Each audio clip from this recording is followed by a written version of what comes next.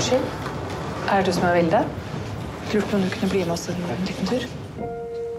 Hun var for skadet. Nei, jeg skal ikke på fosterhjem. Er det noen andre vi kan ringe? Hva med faren din? Nei, nei. Det er Vilde. Det har skjedd noe. Alt bra? Ja, Jeg har ikke noen pappa.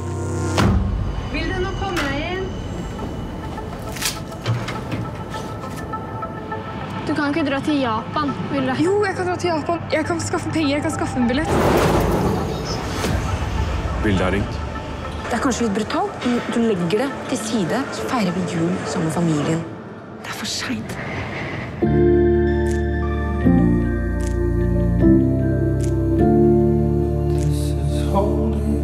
Hei. Vil du vite hvordan det var?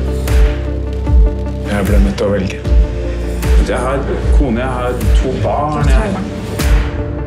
Du har ikke møtt meg i det hele tatt på 15 år. Ikke gå. Jeg skal ikke bli med dere noe sted! Skjønner dere ikke det? Nei!